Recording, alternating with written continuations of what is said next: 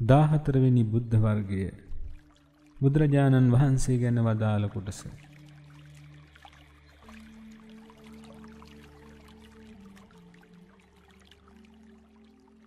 පළවෙනි ගාථාරත්නය මේ කෙලෙස් සටන ඔහු දිනාගෙන ඉවරයි. ඒක කවදාවත් පෙරදුමක් වෙන්නේ නෑ. ඒ ජයග්‍රහණය පරදවන්න පුළුවන් දෙයක් ඔහුගේ පස්සෙන් එන්නේත් නෑ. සම්මා සම්බුදුරජාණන් වහන්සේගේ ඥාන විෂය අනන්තයි. උන්වහන්සේගේ ගමන් මග කෙලෙස් රහිතයි. ඉතින් එබඳු කෙනෙක්ව කොයි විදිහටද රවටන්න හදන්නේ?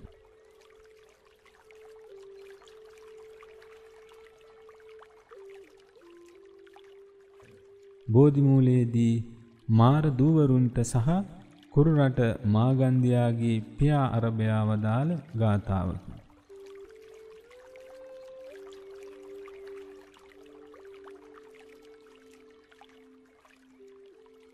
දෙවන ගාථාරත්නය තණ්හාව කියන්නේ දැලක් සත්‍යාව භවයේ උතලා දාන නිසා ඒකට විසත්තිකාව කියනවා. ඔහු තුල තෘෂ්ණාව නැති නිසා ඒ තැනැත්තාව කිසිම විදිහකින් භවයක් කරා ගෙන යන්න බෑ. සම්මා සම්බුදුරජාණන් වහන්සේගේ ඥාන විෂය අනන්තයි. උන්වහන්සේගේ ගමන් මඟ කෙලෙස් රහිතයි. ඉතින් එබඳු කෙනෙක්ව කොයි විදිහටද රවටන්න හදන්නේ?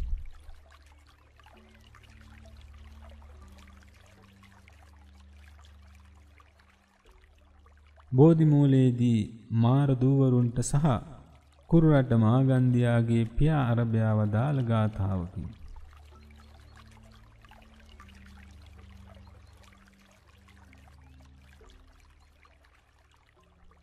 තුන්වන ගාථාරත්නය උන්වහන්සේලා ප්‍රඥාවන්තයි. ධ්‍යානයටමයි එළී වසන්නේ. ලෝකෙන් නික්මිලා සිත සංසිඳවාගෙන ඒ අමා නිවනටයි ඇලී ඉන්නේ. ඉතින් හොඳින් සිහිනුවන පවත්තන සම්බුදුරජාණන් වහන්සේලාට දෙවියන් පවා කැමතියි.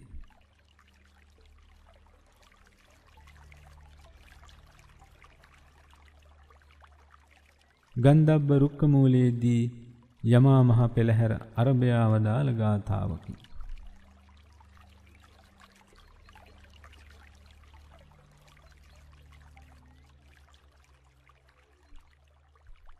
හතරවන ගාථාරත්නය මනුස්ස ජීවිතයක් ලබා ගැනීම ඊටාම දුෂ්කරයි. ඒ මිනිසයන්ට ජීවත් වීමේදී දුෂ්කරතා ඇති වෙනවා. පිරිසුදු සද්ධර්මයේ අසන්න ලැබීමත් ඊටා දුර්ලභයි. බුදුරජාණන් වහන්සේගේ ඉපදීම ඒ හැමතෙම වඩා දුර්ලභයි.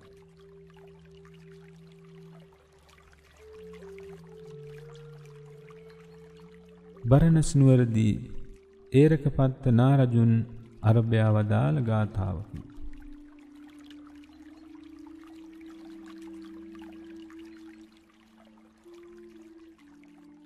පස්වෙනි ගාථාරත්නය සිත කය වචන යන තුන්දොරින් කිසිම අකුසලයක් නොකිරීමත් සත්‍තිස් බෝධිපාක්ෂික ධර්මය නැමැති කුසල් රැස් කිරීමත් සිත ආර්ය මාර්ගය තුලින් පිරිසිදු කර ගැනීමත් යන මෙය බුදුරජාණන් වහන්සේලාගේ අනුශාසනයයි.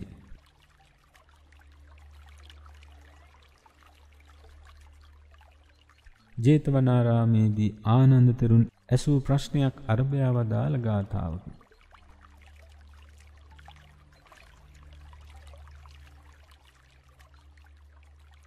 හයවෙනි ගාථාරත්නය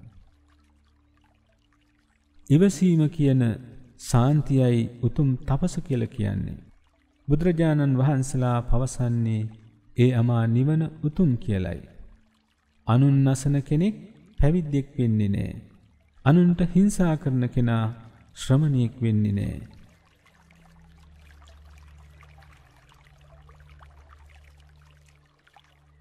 ජේතවනාරාමේදී ආනන්ද තෙරුන් ඇසූ ප්‍රශ්නයකට පිළිතුරු වශයෙන් වදාළ ගාථාව.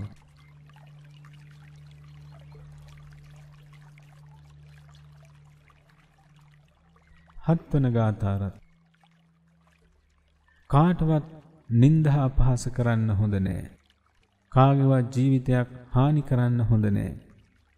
ප්‍රාතිමෝක්ෂ ශීලයෙන් සංවර වෙලා අවබෝධයෙන් යුක්තව දානි බලඳලා දුර ඈත වන සෙනසුන්වල තමයි කල් ගෙවන්න ඕන.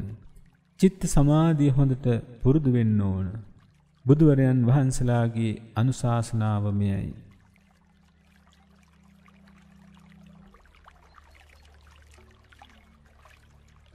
ජේතවනාරාමේදී ආනන්ද තෙරුන් ඇසූ ප්‍රශ්නයකට පිළිතුරු වශයෙන් වදාළ ගාථාව.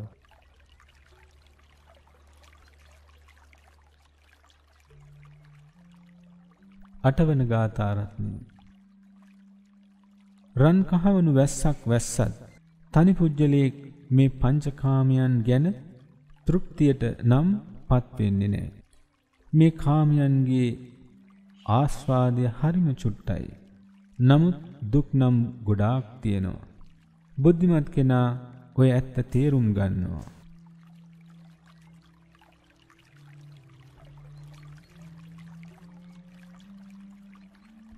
නවවෙනි ගාථාරත්නය.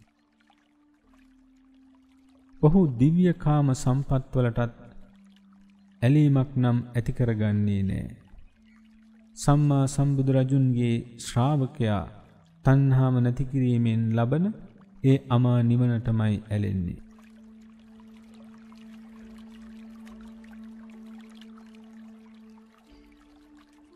ජේතවනාරාමේදී ශාසනෙහි උකටලී වූ භික්ෂුවක් අරබයා වදාළ ගාථාවකි.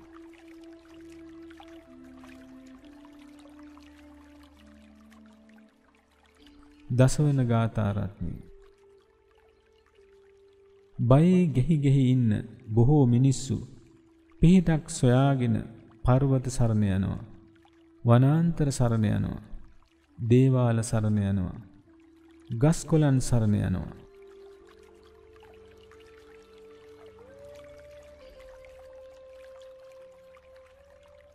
ජේතවනාරාමේදී කොසල් රජුගේ පුරෝහිත බ්‍රාහ්මණයා අරබයා වදාල් ගාථාවකි.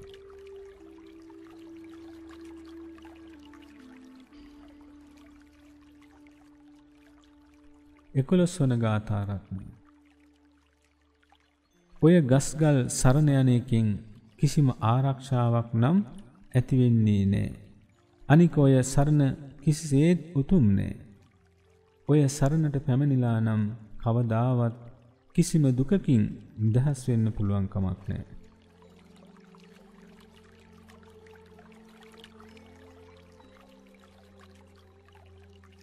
දොළොස්වන ගාථාරත්න යම් කෙනෙක් අවබෝධයෙන් යුක්තව බුදු සමිඳුන් සරණ ගියා නම් ශ්‍රී සද්ධර්මයත් ආර්ය සංඝරත්නයත් සරණ ගියා නම් ඔහු ප්‍රඥාව දියුණු කරගෙන චතුරාර්ය සත්‍ය අවබෝධ කරනවා.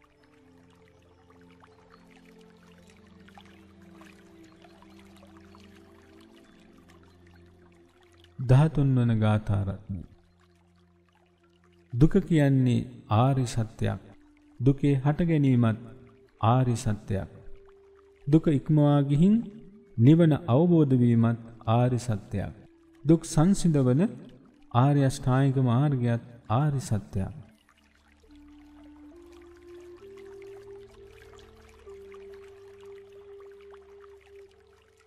දාහතර වන ගාථාරත්නය.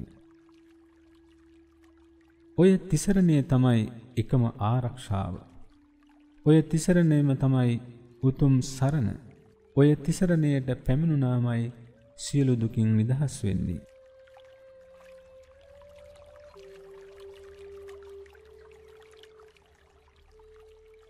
පාලොස්වන ගාථාරත්නය. පරම ශේෂ්ඨ වූ පුරුෂෝත්තමයෙකුගේ පහළවීම අතිශයෙන්ම දුර්ලභයි. යම් තැනක ඒ මහා ප්‍රඥා වූ පුරුෂෝත්තමයා ඉපදුනොත් ඒ පරම්පරාවම සූපත් වෙනවා.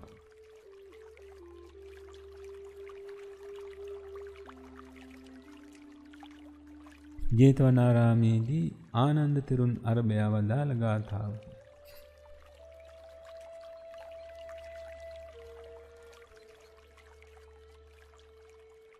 දාසවන ගාථාරත්නය. බුදුරජාණන් වහන්සේගේ ඉපදීම ලොවට මහා සැපයකි. පිරිසුදු ශ්‍රී සද්ධර්මය දේශනා කිරීමත් සැපයක්. බුදුරජාණන් වහන්සේගේ ශ්‍රාවක මහා සංඝයාගේ සමගියද සැපයක්. ඒ සමගි සම්පන්න වූ සංඝයාගේ බණ භාවනාවද සැපයක්.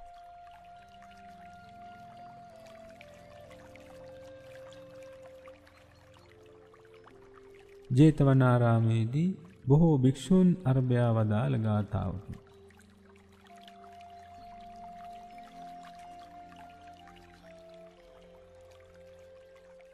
දාහත් වන ගාථාරත්නය. කෙලෙස් පැටලිවිලි ඉක්මවාගිය ශෝක වැලපීම් වලින් එතර වුණ බුදුරජාණන් වහන්සේට හෝ බුද්ධ ශ්‍රාවකීන්ට හෝ එබඳු පූජනීය උතුමන්ට යමෙක් දන් පැන් පුදනවා නම්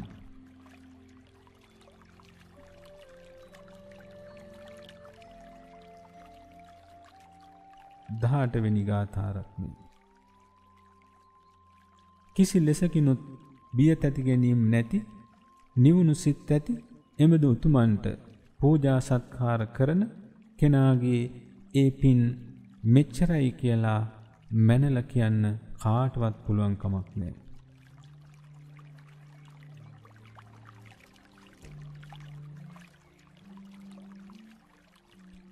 චාරිකාවේදී කාශ්‍යප බුදුරජාණන් වහන්සේගේ සෑය අරභයා වදාළ ගාථාවකි.